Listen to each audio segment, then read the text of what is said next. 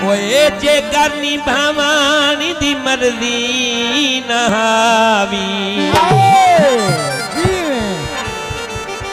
अखियाँ अड़ाइया जानी क्यों हनी पहले? दरबार ते हर